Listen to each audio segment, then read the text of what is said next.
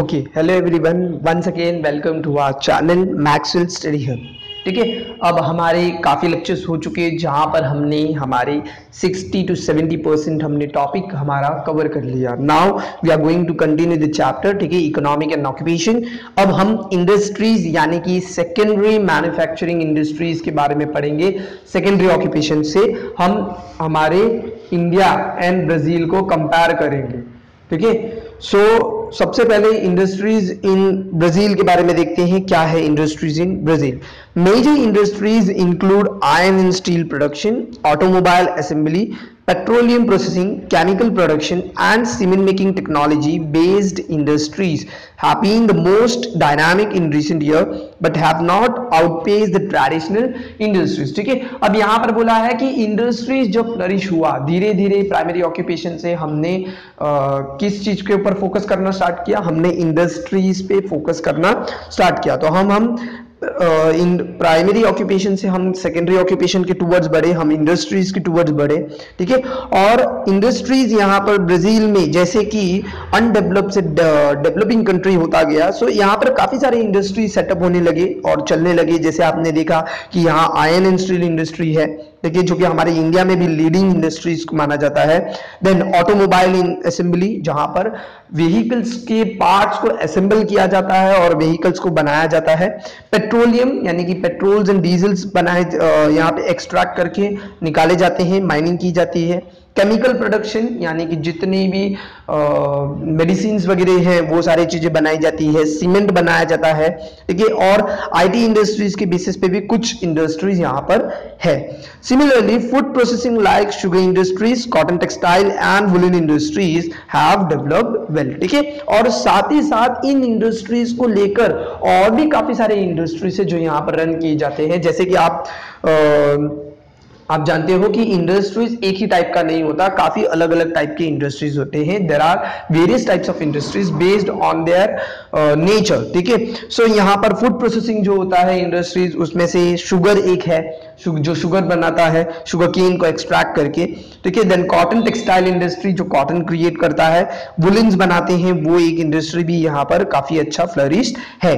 Most largely industries is concentrated in the south and south east ठीक है? सबसे ज़्यादा जो इंडस्ट्रीज़ है, वो southern part of the country में है। ब्राज़ील के सदर्न पार्ट में आपको इंडस्ट्रीज़ सबसे ज़्यादा मिलेंगे और साउथ ईस्टर्न पार्ट में सबसे ज़्यादा आपको इंडस्ट्रीज़ वहाँ पर दिखेंगे, जो लार्ज स्केल पे चलते हैं ठीक है? The north east is traditionally the poorest part of the Brazil ठीक है? जो नॉर्थ नदर्न पार्ट है, वो पुअरेस्ट पार्ट बोला है। ब्राज़ील के यानी कि उतना ज़्यादा ऑक्यूपेशन यानी रूरल पार्ट है डेवलप्ड वहाँ पर एरिया नहीं है। But it is beginning to attract the new investment ठीक है? दो उन लोगों ने उस पर्टिकुलर प्लेस को भी डेवलपमेंट के टूवर्ड्स बढ़ा रहे हैं और वो उन्हें भी एक न्यू प्लेस के लिए, यानी इन्वेस्टमेंट जैसे मार्केट स्ट्रैटेजी खेलने के लिए वहाँ पर भी डेवलपमेंट किए जा रहे हैं। और आने वाले कुछ साल में वो पार्ट भी एक नया मार्केट हैज़ न्यू मार्केट खड़ा होने वाला है। ठीक है सो ये था हमारा इंडस्ट्रीज़ इन ब्राज़ील अब देखते हैं कि इंडस्ट्रीज़ इन इंडिया इंडिया में इंडस्ट्रीज़ कौन से लीड करते हैं? ठीक है तो मार्क करो पॉइंट सबसे फ़र्स्ट वाला, Jharkhand, Orissa adjoining Chhattisgarh and Madhya Pradesh part of Rajasthan, Karnataka and Tamil Nadu account for most of the reserves of metallic minerals सबसे ज़्यादा मेटालिक मिनरल्स अभी यानी कि जितने मेटल्स जो मिनरल्स जो कि मेटल्स बनाने में काम आते हैं, जैसे बॉक्साइट है अल्यूमिनियम बॉक्साइट है, ठीक है आयन ओर है। और काफ़ी सारे मिनरल्स हैं जिससे हम मेटल्स बना सकते हैं। तो वैसे मिनरल्स ये पर्टिकुलर जगह से एक्सट्रैक्ट करते हैं। This area therefore particularly particularly the north eastern part of the peninsula has high very high concentration of heavy metallurgic industry with almost steel centres situated ठीक है? जैसे कि मैंने आपको इससे पहले कहा कि अभी अभी मैंने कहा आपको कि हमारा इंडिया लीडिंग है आयन एंड स्टील इंडस्ट्री में। यानी कि अगर आप मेटागुलरिक इंडस्ट्री देखोगे, यानी कि industries based on heavy duty ठीक है? और हैवी मिनरल्स जहाँ पर जितने भी एल्यूमिनियम स्टील आयन के प्रोडक्ट्स बनाए जाते हैं, वो हमारे इंडिया में सबसे ज़्यादा कंसंट्रेटेड है और नदन पार्ट में है just opposite to the Brazil ठीक है? Availability of large quantities of coal and refractory materials refractory materials are those materials है which can be uh, which can which can be prevent from the fire ठीक है और acid any acid ठीक है एक ऐसा पर्टिकुलर एक product है जहाँ पर आप अगर एसिड यूज़ करोगे तो उससे वो उसे कुछ फ़र्क नहीं पड़ेगा ना ही वो फायर कैच करेगा। सो so, ऐसे मटेरियल्स भी बनाए जाते हैं हमारे इंडिया में। ठीक है along with cheap power from Damodar valley corporation and a number of thermal power projects has added to the advantage और धीरे धीरे क्या हुआ कि जैसे जैसे आगे मॉडर्न एज एरा आते गया एज बदल रहा है वैसे वैसे थर्मल पावर्स वगैरह प्रोजेक्ट्स वगैरह भी काफ़ी ज़्यादा यहाँ पर लॉन्च किए गए हैं इंडिया में, ठीक है? और डेवलपमेंट के लिए। Rajasthan has copper lead and zinc ठीक है? And Karnataka has steel manganese and aluminium and Tamil Nadu has aluminium metal industry so mostly metallurgic industry में हम लीड करते हैं, जहाँ steel iron and steel industry में हम लीडिंग माने जाते हैं।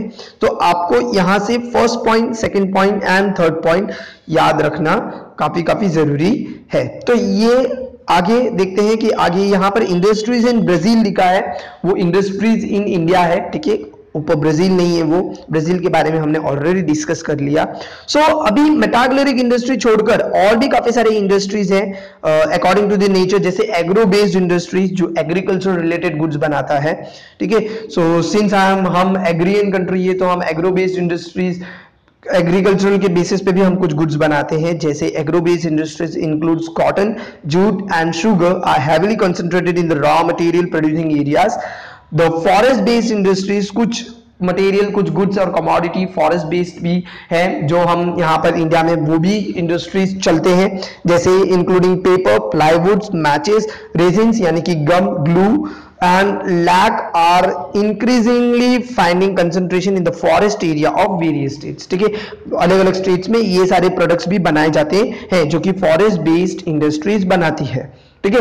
The coastal belt of Kerala has a heavy concentration of coir copra and khobra and fish canning industry ठीक है? यहाँ पर फ़िश कैनिंग इंडस्ट्री भी होता है केरला जैसे स्टेट में जहाँ पर कोकोनट्स के ज़्यादा कंजम्पशन होते हैं जहाँ कोकोनट ज़्यादा प्लेंटी ऑफ़ अवेलेबल होता है तो उनके कॉयर कॉयर यानी कि आप बोल सकते हो कि जो भूसा होता है जो घास जो बोलते हैं ना कि जो ए, कूलर के यहाँ पर कूलर में लगाया जाता है फिट किया जाता है उसे क्वायर बोल सकते हो आप, और खोबरा जो आप खाने में यूज़ कर सकते हो, जो महाराष्ट्र क्यूजीन में मोस्टली और साउथ इंडियंस भी यूज़ करते हैं खोबरा को। ठीक है? देन फ़िश कैनिंग इंडस्ट्री जो फ़िश को पकड़कर कैनिंग हैज़ कैन में बनाकर देती है ठीक है? फ़िश को पकड़ती है फ़िश के एग्स जो स्टर्जन फ़िश के जो एग होते हैं जिन्हें हम कैवियर बोलते हैं ठीक है? वो कैवियर्स को भी पैक करके आ, उनकी कैनिंग करके बेची जाती है। सिंस हमारा आपने पहले ही पढ़ लिया कि हमारे इंडिया में फिशिंग को काफ़ी ज़्यादा इंपॉर्टेंस दिया है बिकॉज़ हम फिशेस ये कैन फिशेस को इंपोर्ट भी करते सॉरी एक्सपोर्ट भी करते हैं। ठीक है तो ये था हमारा industries in India and industries in Brazil और जो अभी हमारा लास्ट जो है, वो है हमारा ट्रेड उससे पहले इंडस्ट्रीज़ इन इंडिया का कुछ पॉइंट्स और है जो डिस्कस कर लेते हैं हम। ठीक है, Gujarat, Rajasthan and Tamil Nadu produce bulk of this bulk of salt in the country ठीक है? सॉल्ट क्रिएट किया जाता है, बनाया जाता है गुजरात, राजस्थान एंड तमिलनाडु जैसे पर्टिकुलर जगह पे। Mechanical engineering electricals automobile fertilisers and numerous consumer industries which shows little bias for raw materials have come up all over the country with heavier concentration near the big cities. ठीक है? बड़ी बड़ी big cities की यहाँ पर बहुत सारे ऐसे mechanical engineering electrical automobile fertilisers ऐसे काफ़ी सारे कंज्यूमर इंडस्ट्रीज़ हैं जो कि खड़े किए जा रहे हैं for the development of the particular country ठीक है? यानी कि इंडिया के डेवलपमेंट के लिए ये सारी इंडस्ट्रीज़ को भी धीरे धीरे लॉन्च किया जा रहा है।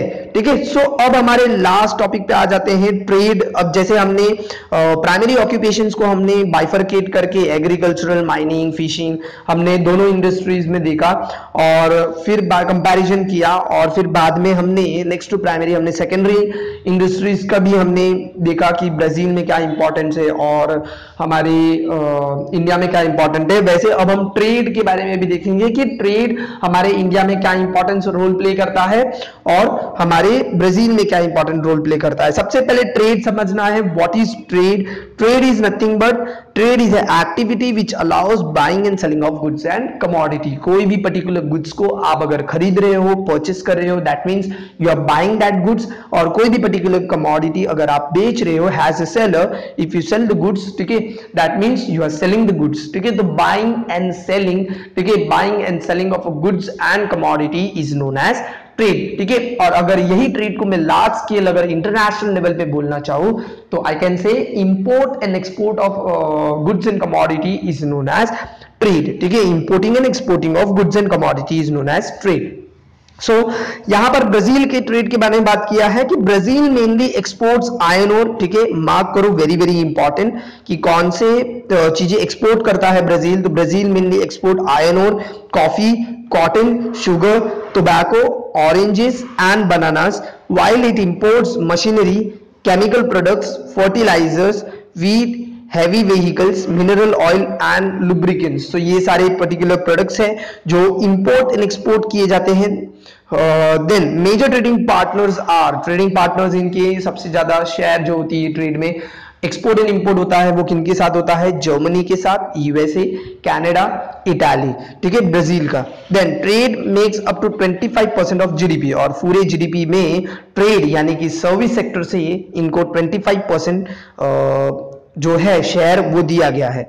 Now trade in India India के ट्रेड के बारे में देखते हैं, जैसे हमने ब्राज़ील के देखे। So India mainly exports tea mangoes coffee spices leather and leather goods iron ore, cotton and silk textiles while it mainly imports petroleum, machines, uh, pearls and precious stones, gold and silver, paper, medicines etc. ये सारी चीज़ें हम क्या करते हैं हम import करते हैं then India major trading partners India के मेजर ट्रेडिंग पार्टनर्स क्या है UK USA Germany China etcetera ठीक है? ये सारे पॉइंट्स को आपको मार्क करना है because again it's very important highlight करके रखिए इन्हें। India Indian company setup industrial central all over the Brazil and invested lot of capital the Indian companies have invested in such sector as IT ठीक है?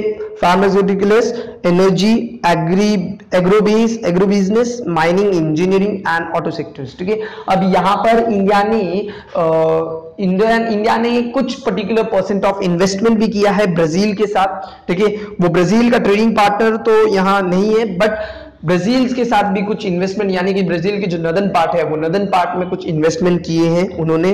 Particular industry की जो भी अभी मैंने बोला कि आईटी इंडस्ट्री के लिए agro based industry agro based industries के लिए देन माइनिंग के लिए। उन्होंने क्या किया है? ब्राज़ील के साथ एक पर्टिकुलर इन्वेस्टमेंट किया है कि आने वाले फ्यूचर में यहाँ से बिज़नेस काफ़ी ज़्यादा होगा। Because northern part of the Brazil में मार्केट सेट करने के लिए काफ़ी अच्छा पर्टिकुलर जगह है। Brazil footprint in India is smaller but important ठीक है? अब यहाँ पर बोला है कि ब्राज़ील ने भी कुछ सर्टन अमाउंट ऑफ़ इन्वेस्टमेंट यहाँ पर किया है और वो कम किया है, हालाँकि वो कम इन्वेस्टमेंट किया है बट जितने भी किए हैं, वो बहुत ही इंपॉर्टेंट इंपॉर्टेंट सेक्टर्स में किया है। तो देखते हैं कौन से वो सेक्टर्स है। तो the Brazilian companies have invested in automobiles automobiles में किया है। IT mining energy biofuels footwear sector in India ठीक है, ये सारे पर्टिकुलर ब्राजील्स के हैं जो ब्राज़ील ने यहाँ पर इन्वेस्टमेंट किए हैं इंडिया के साथ। सो so, ये था हमारा अबाउट द ट्रेड ठीक है? आज अब हम इस चैप्टर के एंड में आ चुके हैं. We have completed the chapter ठीक है? जहाँ ये चैप्टर में हमने एक्चुअली पढ़ा क्या? इकोनॉमिक के बारे में पढ़ा कंट्री के कि what is economic of the India and Brazil we have compared both the economic pattern both the economic structure of the India and Brazil ठीक है? And as well as we have discuss about the various occupation and their GDP contribution ठीक है? सो आपके hope uh, आप लोगों ने notes बनाए होंगे और आप सभी को कंसेप्ट जो होगा वो क्लियर हो गया होगा। सो so, आपको करना क्या है? नोट्स बनाना है और आपके एग्ज़ाम के लिए आपको प्रिपेयर करना है ठीक है? So thank you for your cooperation ठीक है? थैंक्स अगर आपको किसी भी डाउट्स किसी भी सब्जेक्ट किसी भी कंसेप्ट के रिगार्डिंग अगर आपको डाउट्स है please mention in the comment box ठीक है? मैं वो डाउट्स आपकी कंप्लीट करने की पूरी कोशिश करूँगा। तो नेक्स्ट वीडियो में हम न्यू चैप्टर के साथ मिलेंगे। तो तब तक के लिए please share like comment and subscribe thank you